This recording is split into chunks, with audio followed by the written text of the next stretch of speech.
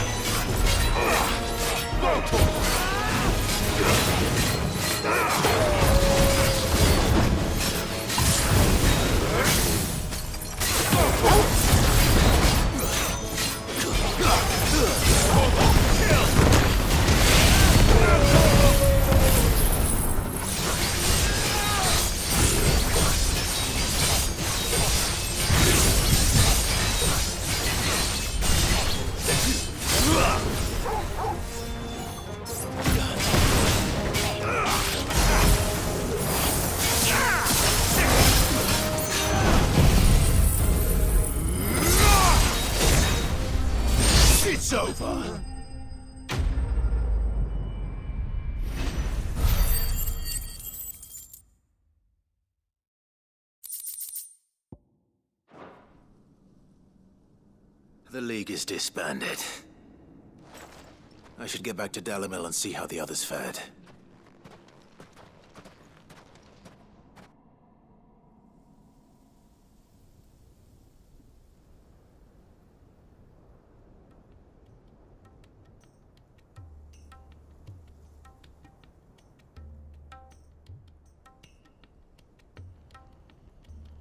All the Akashic we were able to find have been dealt with. Seems that might be the last of them. Last of them here, perhaps. Lubor, Sir Clive has returned. Clive! What news from Charitina? It's done. Root and branch. I knew you wouldn't let me down. Thank you, my lord. Friends, the Horde has been driven back. The Akashic have been defeated. And we need not fear the arrival of any more, thanks to Clive. Victory is ours. We bloody did it! We saved Dalimil. Lubor, allow me to apologize. After all you have done for this town, we should never have doubted you. But we did. And for that we are truly sorry. We only hope that you can forgive us. We need you, Lubor. Dalimil needs you. So, if you would still like to be considered for the position of mayor, you have our backing. You do remember that I'm a bearer, don't you? We do. But that is not a stain on your character. It is a stain on ours. We thought only of what we perceived bearers to be, not what you truly are. The man who saved Dalimil twice over. I see. But I will only accept your proposal on two conditions. Name them. Firstly, that you will both do everything in your power to rally your people to my cause. If the Town Guard and the Merchants League do not accept my leadership, it will be doomed from the start. Unity is the key to defending Dalimil, and I do not doubt that we shall need to call on our combined strength again. When that time comes, I will expect us all to pull together, just as we did today. Of course. You have our word. And secondly, you will accept that if I am to lead you, the mistreatment of bearers must end here in Dalimil. Any bearer within our walls shall be afforded the same rights as any other citizen. They will not be judged by what they are, but who they are. As we failed to do, and came so close to losing everything. We agree to your conditions. And we have only one in return. That you continue to work for the good of Dalimil, as you always have. Condition accepted. Well then, it seems my mayorship is all but confirmed. Do I get some sort of special hat?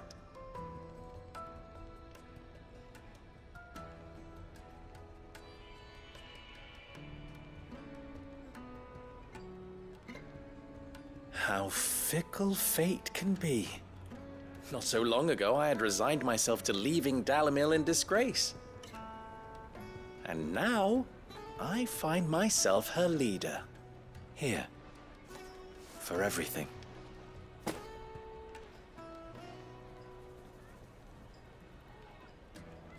Lubor. About the children. Fear not, you are of course relieved of your responsibility. I would sooner face another horde of Akashic than see them brought up as outlaws. I'll make sure they're safe here. I don't doubt that you will. And not just the children, but everyone in Dalimil. I'll do my best. Can't have all your hard work going to waste.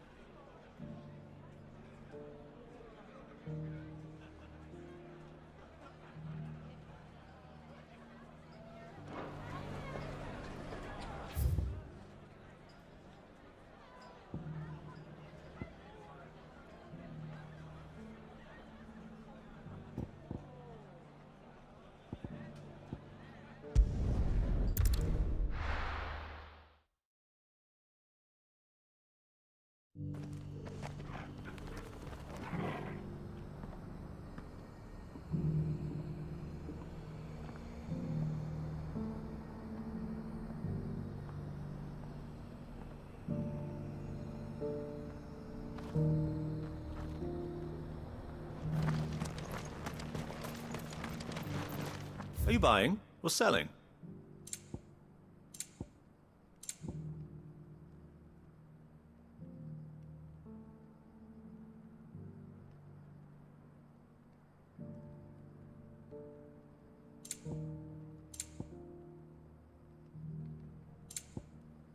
Go safely.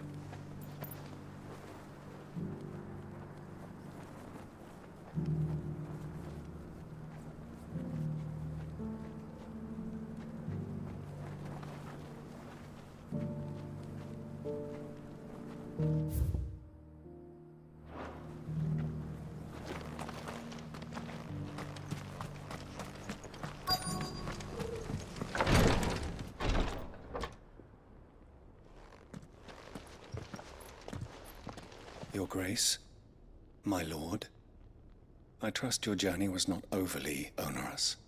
Cyril, you found a letter from father. Yes, I have it here.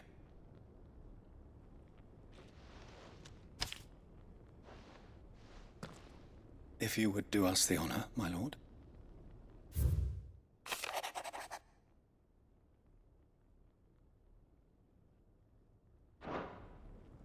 An inheritance.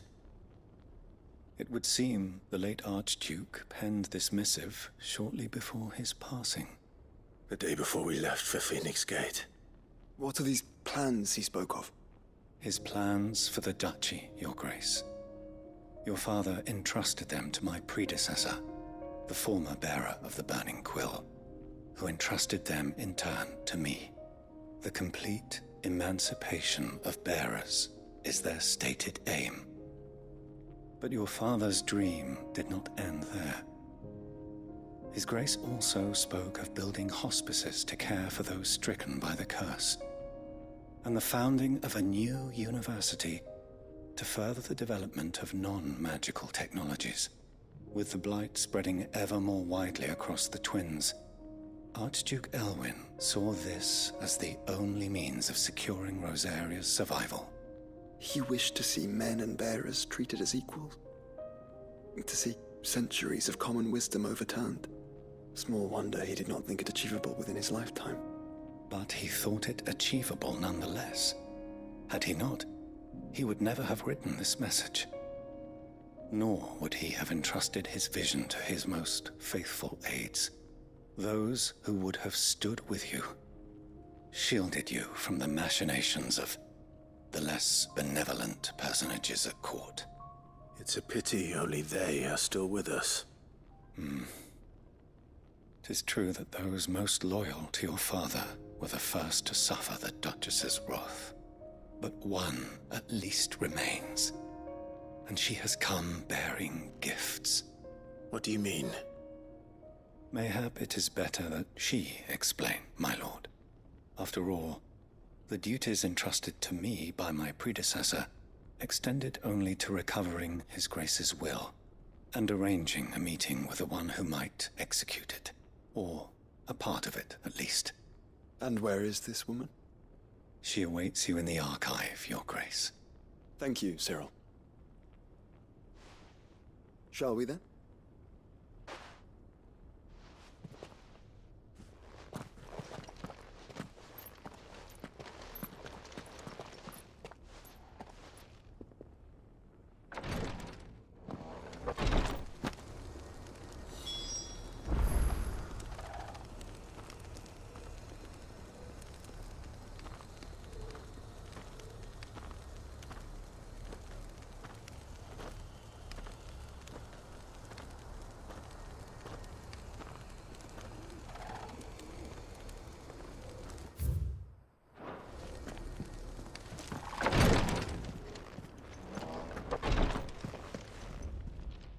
Marquis, if you have a moment. What is it, Cyril? One of our brethren lately journeyed across the strait in order to pursue a new avenue of inquiry in our ongoing investigation. He sent an owl some while ago, but we have heard naught from him since. Was he surveying another fallen ruin? No. The object of his study was a savior cult that has arisen in Ash in recent years. We believe it may have some connection to the Circle of Malleus. an ancient religion that worshipped Ultima as its god. By gaining an understanding of this new faith, we hoped to learn more of the Circle's original beliefs. And so you sent one of your brothers to Ash? A continent teeming with Orcs and Akashic? Fully cognizant of the risks, yes. I entrusted the mission to one of the most able of our order, the Third Chair, a master of the arts of combat and survival both. Though he has been silent for some days now, I have thus far refrained from sending any others in search of him, lest they be lost in turn. Yet, it seemed only right to inform you of the situation, given your unique experience of the perils of Ash. For as you so earnestly advised me, it would not do to abandon a man to his fate when he might yet be saved.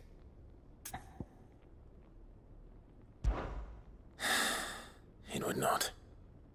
But Ash is a big place. Can you be any more specific? Perhaps. The last owl I received from him mentioned a village where he had heard the cult were wont to assemble. Mickleburg was its name. It lies in the southern reaches of Waloed. If aught ill befell him, I expect it did so there. Right. I'll see what I can do. You are much too kind, my lord. Go then, with my hopes, and may the Firebird's flame ever burn in your heart.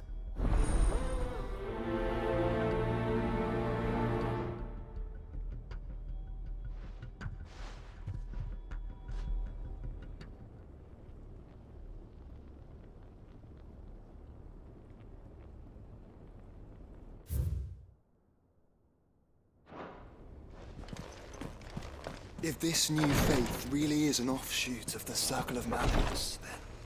Let's concentrate on finding the third chair first. shall we?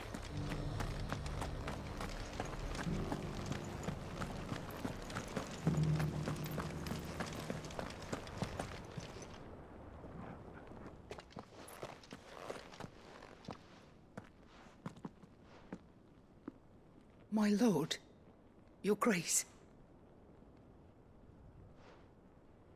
I. I hardly recognize you. I am Goditha, retainer of House Rosfield, loyal servant to the Phoenix and his shields. Your father, the Archduke Elwin, entrusted me with the delivery of a gift. I only hope you can forgive my tardiness in bringing it to you. Lift up your head, Lady Goditha. You have our gratitude for your service to our house and to our father. I merely did my duty, as any proud Rosarian would. My lady. Perhaps you could explain a little more? What exactly is the gift you bring? As I'm sure you know, it has long been the custom for the children of House Rosfield to be presented with certain keepsakes upon their coming of age. Indeed it has. Our father often spoke of the day when our turn would come. And had he lived to see it, he would have presented you with the treasures I bear. Matching armbands for you both. Alas, he did not live. Indeed, he was taken from us even before they could be completed. He had intended to claim the Heartstone with which each armband was to be finished himself, but it was not to be. And his gifts remain incomplete. I see. It saddens me to bring them before you, as they are. It was your father's wish that you be presented with the finished articles, not these works in progress. But with his grace long since gone, and the stone left unclaimed, I had little choice. You are grown men now, and his house is yours. And while I would not presume to insist upon your claiming the Heartstone in his stead, I know that nothing would have pleased him more than for you to do so. Thank you, Lady Goditha. What say you, Clive? What else? Of course, my lady. May our father's will be done. Oh, I am much obliged. Do you know where we might find this Heartstone, my lady? I do. Though it may be a matter of a good deal more than simply happening upon it. It is found in the bellies of elder griffins, you see. We do at least know where to find one. A certain specimen has made its nest in Titan's Wake, not far from here. A certain specimen? You are most perceptive, Your Grace. In answer to your unspoken question, yes. In fact, this is the very same beast your father meant to slay. I have been tracking its movements since you were but a boy. Were you to slay it in his stead, as men of House Rosfield, it would surely make your father proud. What say you, Joshua? What else?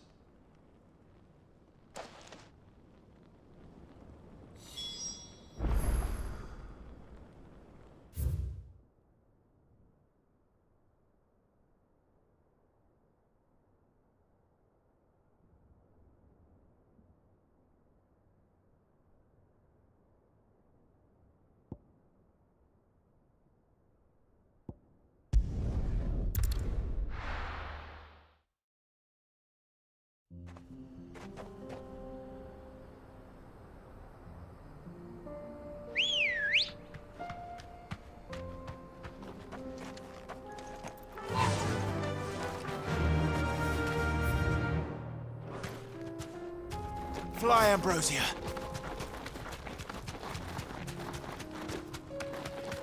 Eyes peeled, Joshua.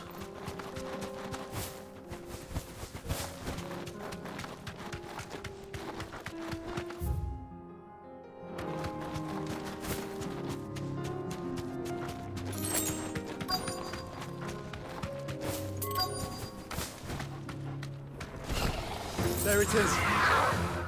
For House Rosfield.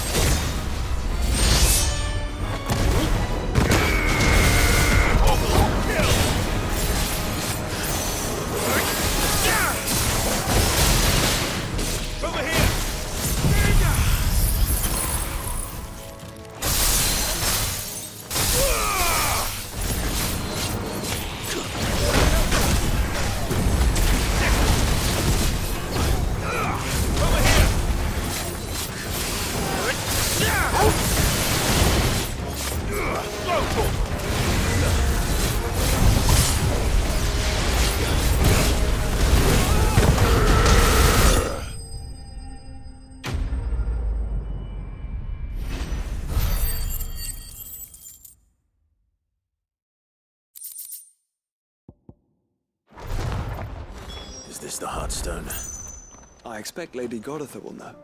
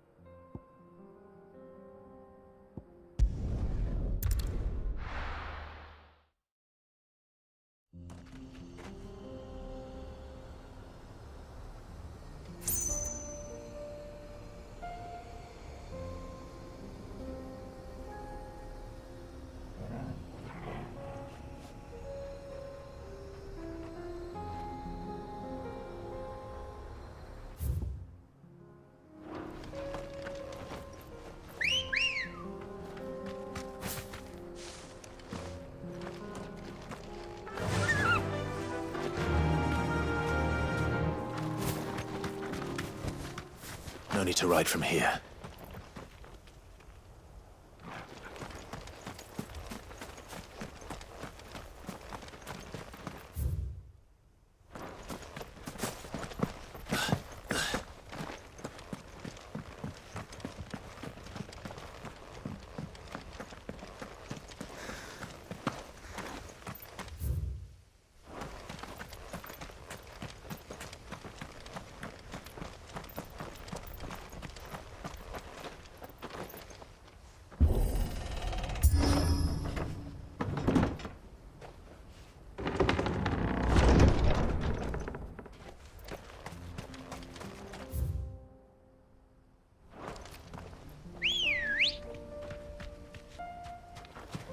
Girl?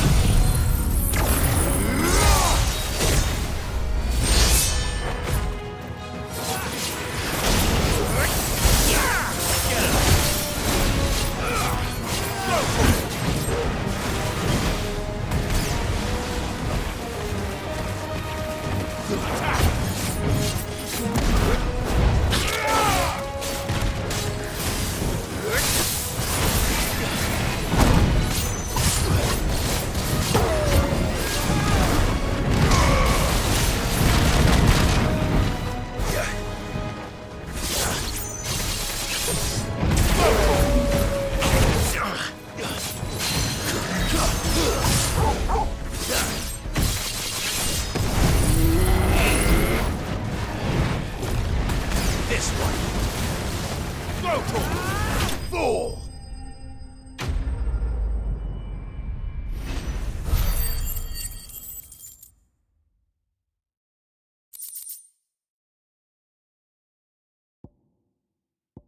I better get these materials to Mid so she can finish her prototype.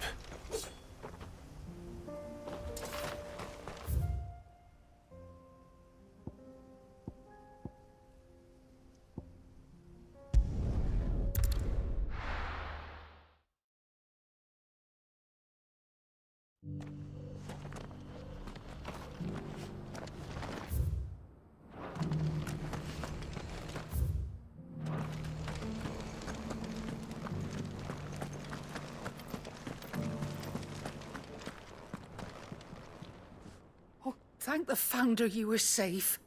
The Griffin is slain then? And the Heartstone claimed.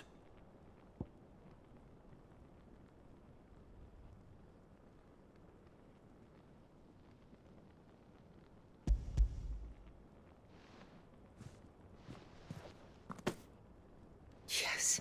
This radiant luster, like frozen flame, is just as your father described it. Thank you, my lord. Your grace. Your father would be so proud. Lady Goditha, the lapidary is ready. Thank you, Cyril. I will be with him shortly. If you would excuse me, I shall have the stone cut and set forthwith.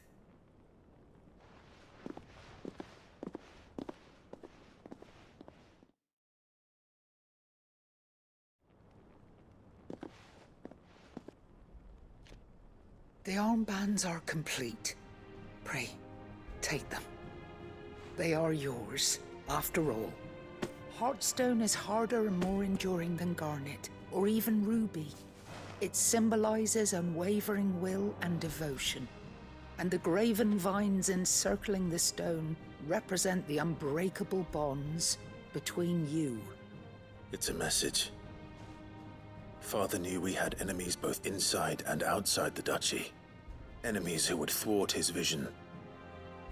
Only with unwavering devotion would it ever be realized. And only if we stood together, as Phoenix and Shield, as brothers in arms. Only then might those enemies be overcome. Indeed.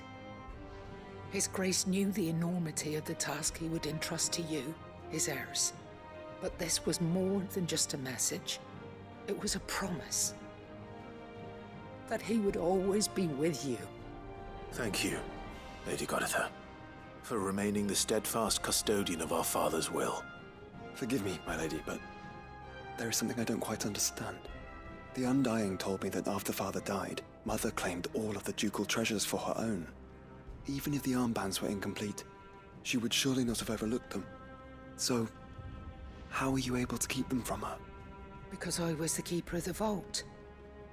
Though I was but a lowly servant, your father spoke to me of his intentions for the bands, of the deep love he had for both of you, and his hopes for your future. In the days before the disaster at Phoenix Gate, I discovered that the Duchess had ordered her jewelry be sent away from the castle. It was then that I knew she meant to betray us. I tried to warn your father, but it was too late. When word of the fire reached Rosalith, I knew my time was short. So I took up the armbands and I fled into the night. And thank the Founder you did. Yet my duty to your father was incomplete. Not knowing what else to do, I followed the Griffin, thinking I might claim the Heartstone on its passing. And so my pursuit continued, until Lord Cyril appeared before me. He informed me that His Grace's will had been recovered, and that his sons were alive and well. Lady Goditha, on behalf of my father and all the people of Rosaria, I thank you for your loyal service. As do I. Thank you, my lord. Your Grace, for coming back to us. For giving my service meaning.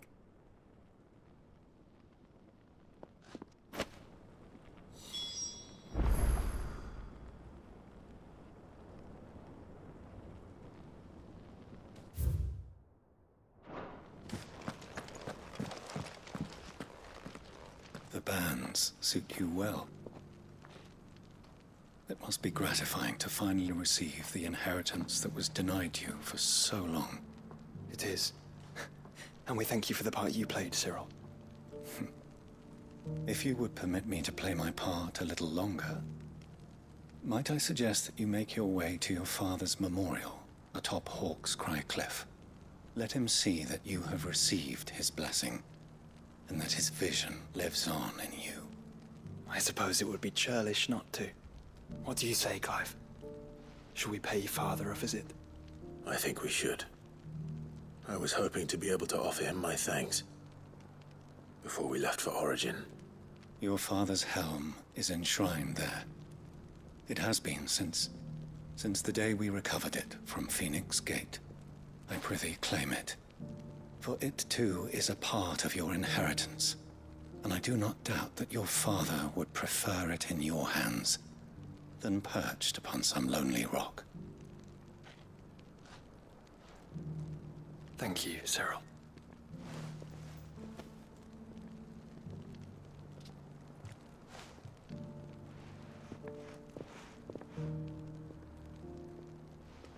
Come on, Clive. He's waiting.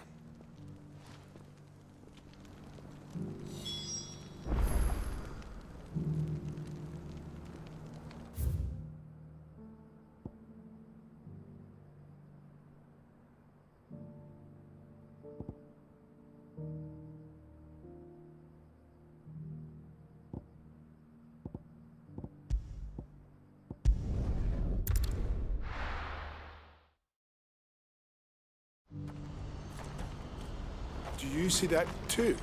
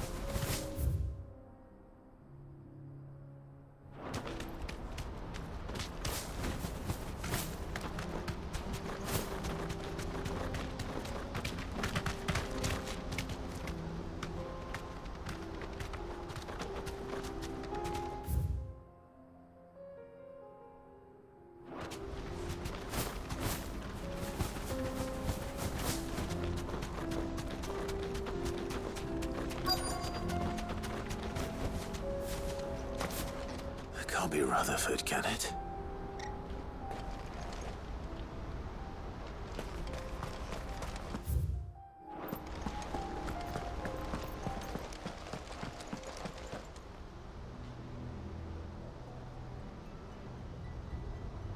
Turncoats and cowards, the lot of you! If it's a fight you want, it's a fight you shall have! Allow me.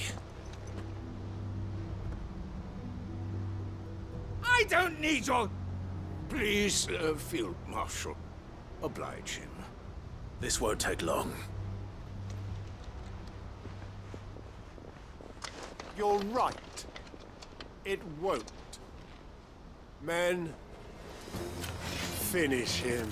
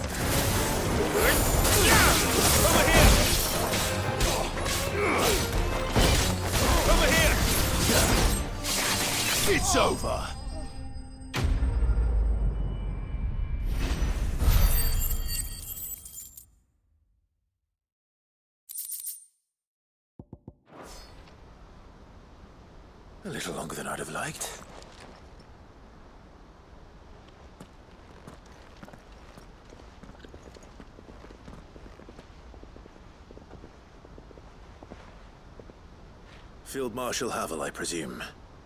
Are either of you injured? No, my lord. You arrived just as our escort turned on us. Fucking traitors. I'd heard reports of soldiers in the outlying regions abandoning the oaths they swore. But I hadn't thought the corruption had reached so close to the heart of the Republic. It's a fucking disgrace. Your interfering old bastard of an uncle tried to warn me, of course. My lord Marquis.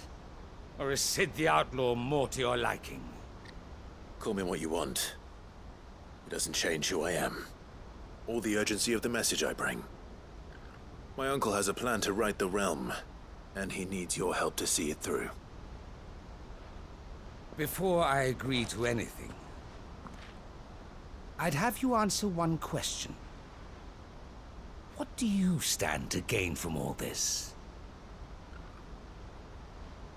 I won't deny that I might benefit from further chaos.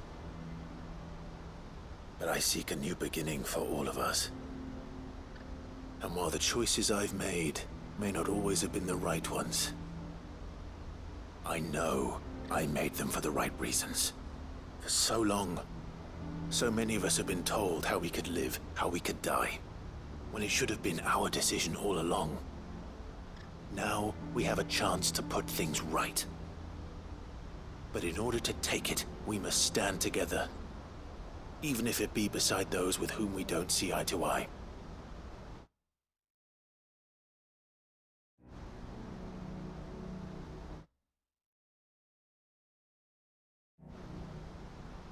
Certainly not the words I expected from an outlaw. But perhaps your uncle was right. You are no ordinary outlaw.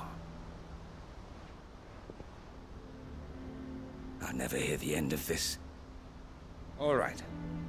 I'll start by ordering my most trusted guard to bring the Dhalmekian fringes under control.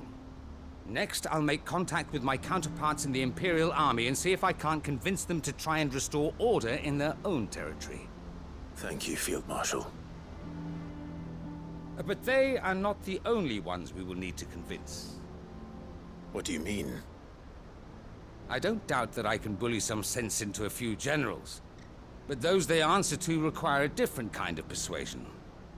And when it comes to honeyed words, we will need an envoy. One who can court even the most stubborn of statesmen. You, perhaps. I'm flattered. But I'm no diplomat either. And I have other problems to attend to. What we need is a skilled arbitrator. And I may know just the person. Is that so? And would he happen to be an outlaw too? Of a different kind, perhaps. Well, beggars can't be choosers. I suppose we'll all have to find a little of the outlaw in ourselves if we're to make it through this. Very well. Send your man to me right away. I shall.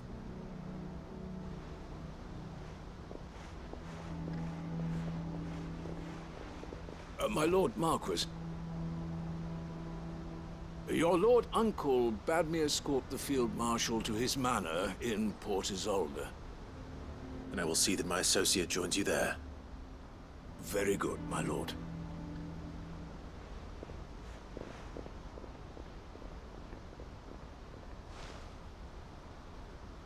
Huh. An envoy.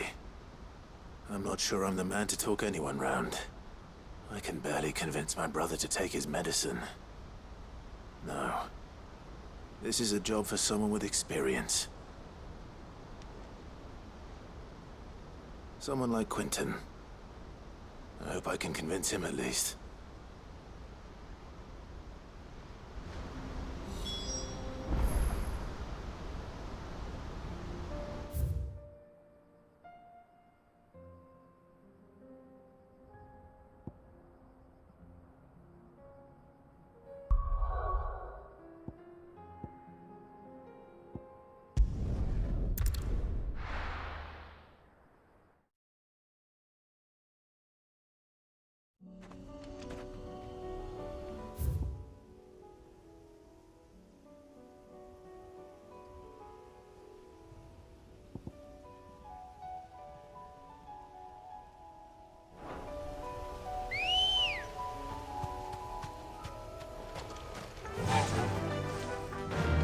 Faster! Unwavering will and an unbreakable bond. Do you really think we're strong enough? To save the world? Of course. We'll overcome Father's political enemies. That I'm less certain. Especially knowing what we know now. What Mother was truly capable of. But perhaps these bands would have helped. Knowing he was with us would have made all the difference.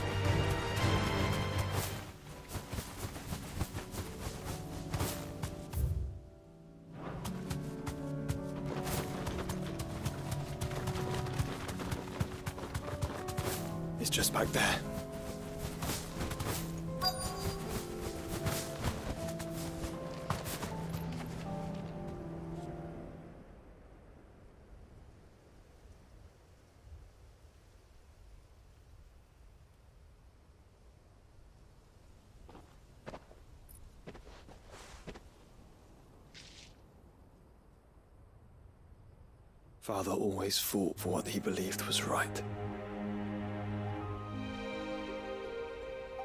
It wasn't until that night at Phoenix Gate that I realized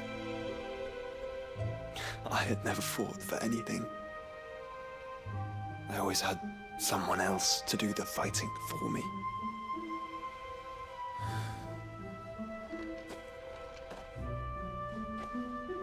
No matter how fate conspired against him, he never lost heart, never looked back, never stopped fighting. To me, he was the greatest of men. And I've been trying to live up to his ideals ever since.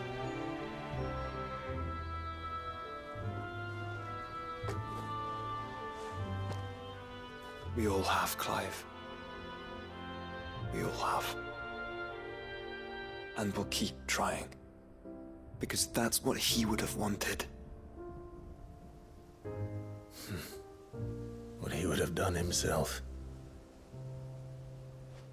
Even if it meant standing against the very gods in the heavens.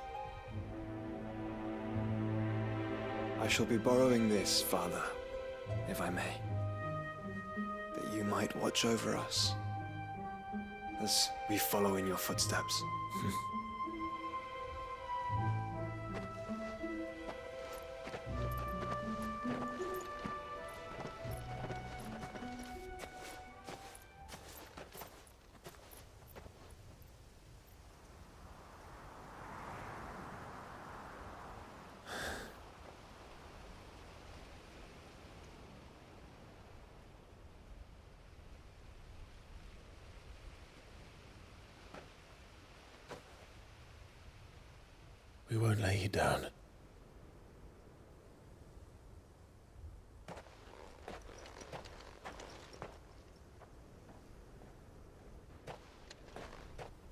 Onward then. Onward. To the end. And to a new beginning.